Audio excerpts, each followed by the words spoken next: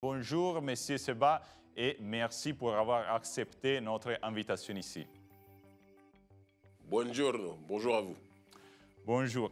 Euh, alors, euh, vous êtes un des principaux euh, représentants du panafricanisme à niveau mondial. Et vous avez donc lutté contre l'impérialisme en Afrique, contre l'exploitation du pays africain, contre aussi la monnaie euh, les francs CFA, la, monnaie du colonialisme. Et aujourd'hui, vous êtes ici en Italie. Donc, je vous demande, euh, quelles sont les principales étapes de votre voyage ici en Italie et quel accueil vous avez reçu ici?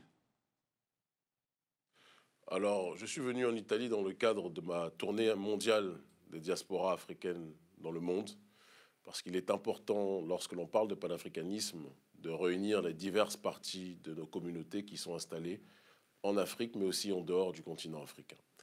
Et essayer de donner une orientation dans le cadre de la lutte contre le globalisme néolibéral, donner une orientation à nos communautés qui, malheureusement, de par la paupérisation, de par euh, l'ostracisme qu'ils connaissent un peu partout, finissent par tomber parfois dans des orientations et des combats qui ne sont pas les nôtres.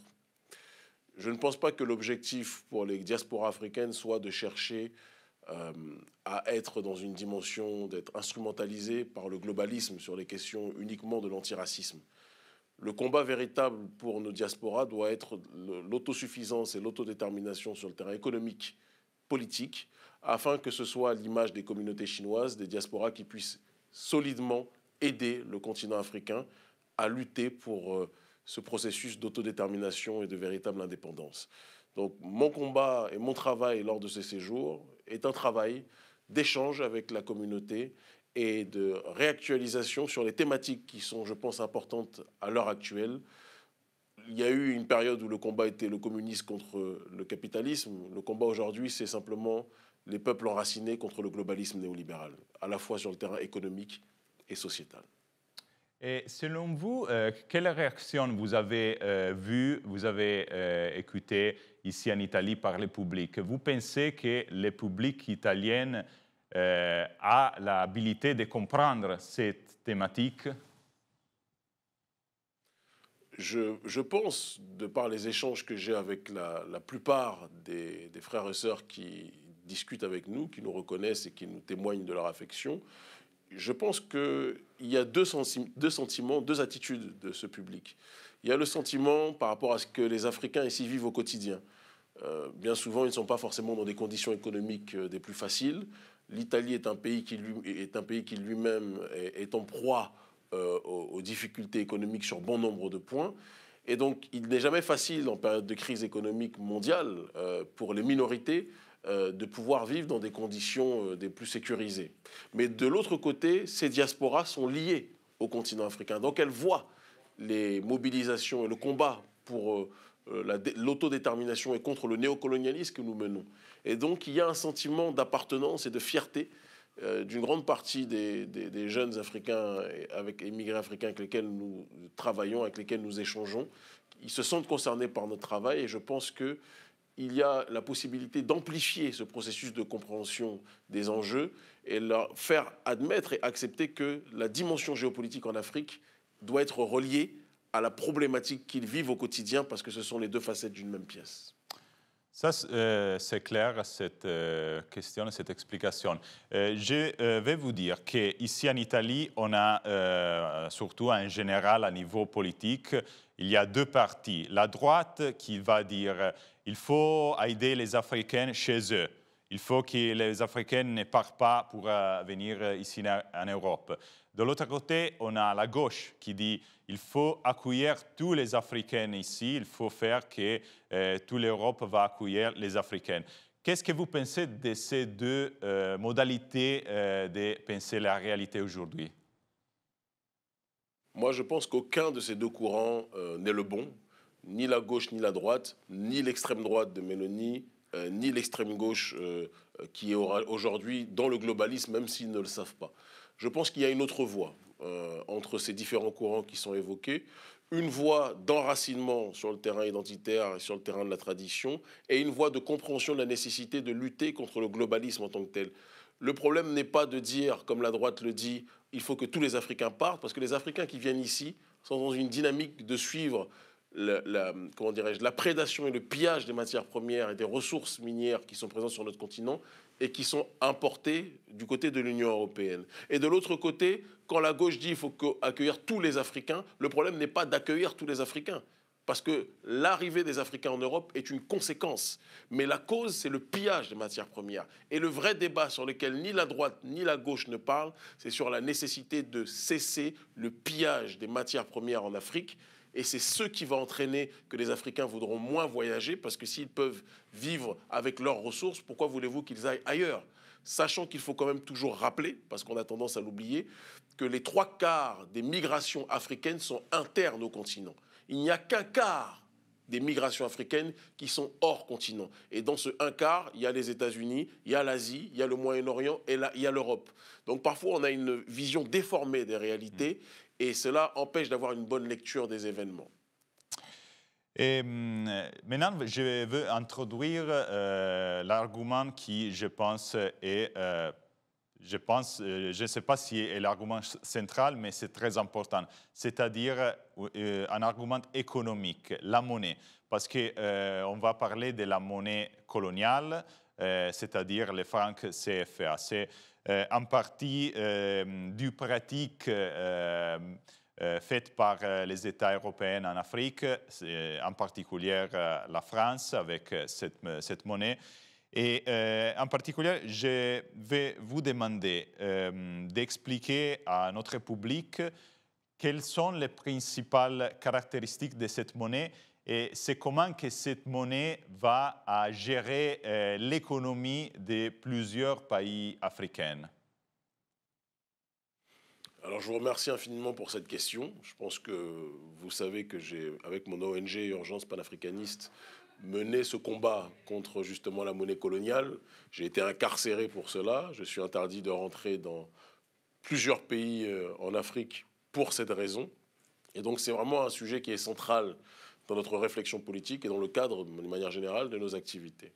Je vous dirais simplement que euh, lorsque l'on parle du franc CFA, on parle d'une monnaie qui a été créée dans les années 40, dans le but justement de permettre euh, que les entreprises françaises puissent exporter les ressources sur le continent africain sans avoir de contrôle émanant euh, de quelconque suprastructure en tant que telle.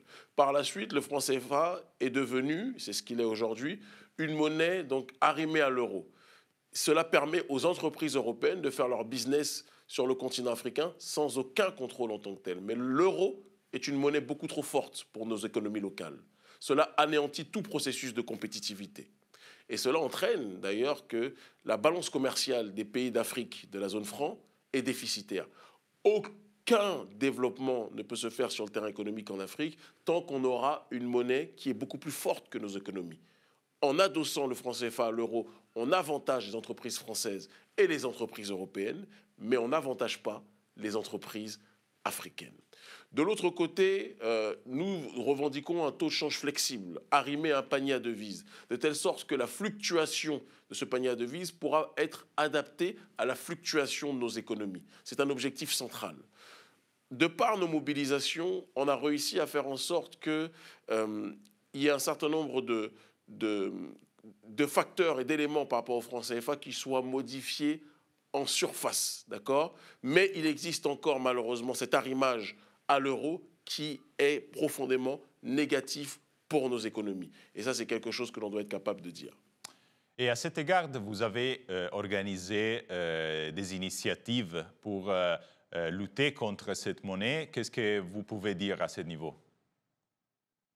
Écoutez, on a organisé, comme je vous le disais, des mobilisations euh, partout en Afrique francophone et même dans la diaspora sur ces questions. Euh, certains d'entre nous ont été arrêtés, incarcérés pour cela.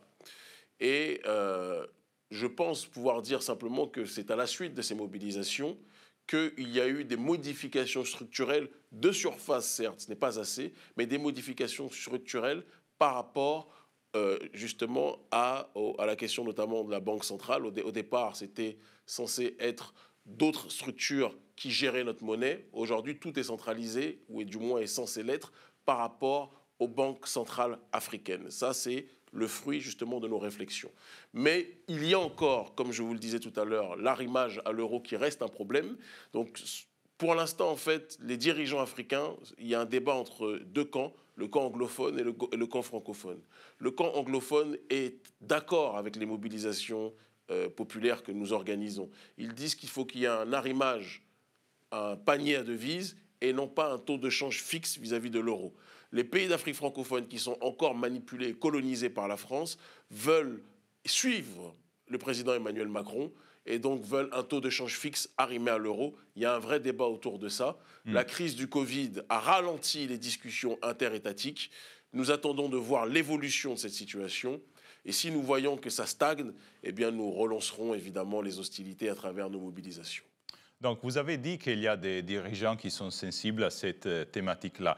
Et euh, à cet euh, égard, pendant ces derniers mois, on avoue qu'il y a aussi un changement au niveau des présences françaises dans les territoires africains. Parce qu'on a vu la situation en Mali, par exemple, où euh, les, militaires français ont été expulsés euh, par les, pays et aussi l'activité de l'ONG français a été euh, bloquée. Et aussi, on a vu la même chose, je pense, en Burkina et aussi dans la République centrafricaine. Euh, donc, qu'est-ce que vous pensez de euh, ces choses qui se sont passées en Afrique euh, pendant ces derniers mois? Alors, je vais répondre en finissant ma, ma, réponse précédente en vous disant que nos mobilisations sur le terrain du franc CFA ont permis de fermer les comptes d'opération. Les comptes d'opération, ce sont des éléments centraux dans le processus de domination du néocolonialisme français sur le terrain monétaire et nos manifestations, les manifestations populaires en Afrique francophone organisées par Urgence panafricaniste ont permis, et d'autres économistes qui nous supportent, ont permis d'avancer sur ces questions. C'est une victoire historique, même si ce n'est pas encore suffisant. Pour ce qui est maintenant de votre question euh, en ce qui concerne euh, la, logique des mobilisations contre la présence militaire française, on peut le dire simplement que notre ONG Urgence panafricaniste, ainsi que d'autres mouvements, comme le mouvement Yerewolo au Mali, comme le mouvement euh, au Burkina Faso, comme d'autres mouvements qui sont installés en Afrique francophone, nous nous sommes mobilisés un peu partout pour dire à l'armée française que c'est une armée d'occupation et que nous n'acceptons pas qu'ils viennent squatter nos territoires pour sécuriser l'accès à nos ressources. Parce que ce qui les intéresse, ce n'est pas de lutter contre le terrorisme, puisque ce sont eux qui ont créé ce terrorisme en assassinant Kadhafi. Ce qui les intéresse, c'est d'être sur nos territoires et de sécuriser l'accès à nos ressources minières.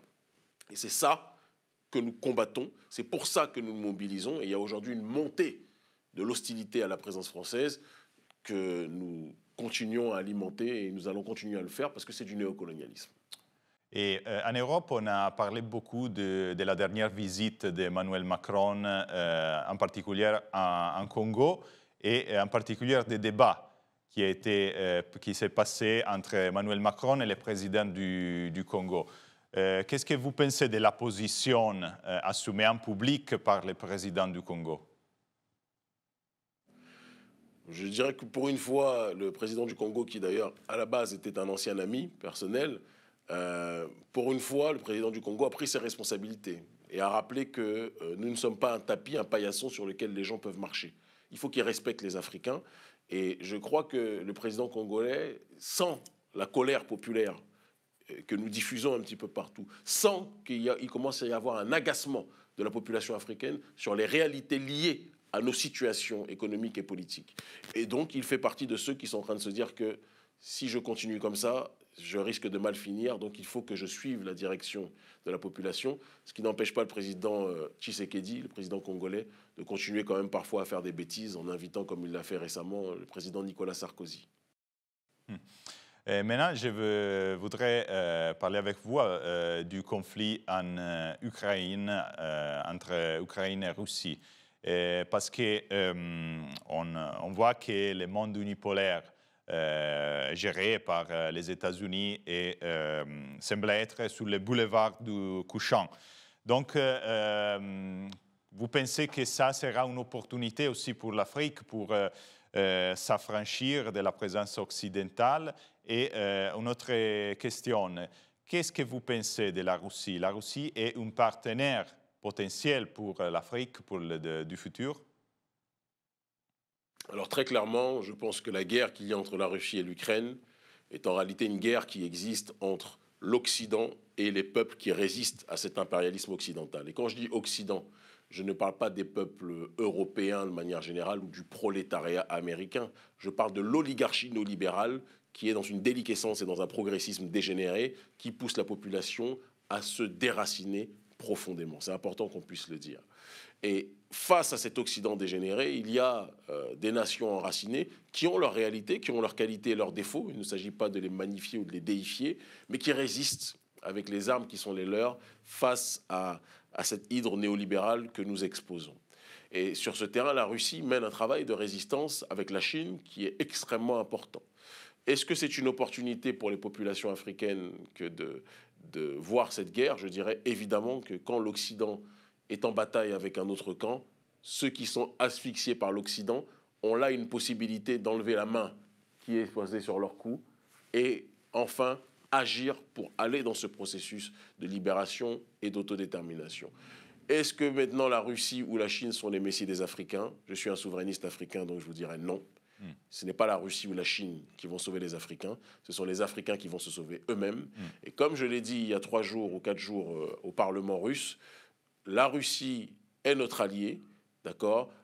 L'Iran, la Chine et tous ceux qui veulent un monde multipolaire sont nos alliés, mais nous avertissons tous ces pays de ne pas penser qu'ils pourront répéter les schémas néocoloniaux de ceux qui les ont précédés, parce que le jour où ils agiront de cette façon, nous les considérons comme des adversaires, comme nous considérons aujourd'hui la France et l'Occident comme des adversaires. Et donc, je voudrais prendre euh, un point par cette euh, réponse que vous m'avez donnée, parce qu'il euh, y a beaucoup de personnes, des experts qui disent que aussi la présence, la présence chinoise en Afrique maintenant représente aussi un exemple de néocolonialisme en Afrique. Qu'est-ce que vous pensez de ça? C'est fou parce que c'est exactement les sujets que j'ai abordés euh, lors de mon séjour à Moscou il y a quelques jours. Je dis que euh, la différence entre la Russie, la Chine et l'Occident, c'est qu'aucun de ces pays ne viennent dire aux Africains ce qu'ils doivent faire. Hmm. Ça, c'est très important. Et euh, quand il n'y a pas de néocolonialisme culturel, déjà, il y a des choses qui sont parfois mieux vécues par les populations. Mais, je l'ai dit, qu'il peut y avoir, et il y a eu, chez les Chinois et aussi chez les Russes, certaines au niveau micro pour l'instant, mais qui n'est pas, ça n'est pas comparable à ce que l'Occident a fait. Mais il y a eu des dérives, clairement et simplement, parfois, de certains représentants ou certains concitoyens de Russie ou de Chine vis-à-vis des populations africaines. Et je vous le dis, nous sommes des souverainistes africains. Et nous pensons qu'un partenariat gagnant-gagnant est la solution. Et nous voulons des partenariats gagnant-gagnant avec ceux qui nous respectent. Mais si certains dépassent les limites, sortent du cadre du respect et pensent que nous sommes des populations bonnes uniquement à être colonisées, je vous le dis avec la plus grande simplicité. Parce que nous n'avons peur que de Dieu, nous les combattrons. Et donc, que ce soit la Chine, que ce soit la Russie, que ce soit d'autres pays, que ce soit l'Iran, que ce soit la Turquie, lorsque vous dealez avec les Africains, respectez la population africaine. Si vous respectez la population africaine, nous sommes des hommes. Nous vous serrons la main et nous avancerons. Mais si vous ne respectez pas la population africaine, vous voyez à travers nous une nouvelle génération qui n'acceptera pas d'être le paillasson de qui que ce soit. Donc, je voudrais maintenant aborder euh, un dernier argument avec vous, euh, c'est-à-dire les Covid. Parce que nous, ici en, euh, en Europe, en particulier en Italie, on a vécu les Covid, la gestion de l'émergence sanitaire comme euh, une autre euh, euh, partie du gestion du globalisme et du néolibéralisme à niveau mondial. Qu'est-ce que vous pouvez dire pour l'Afrique?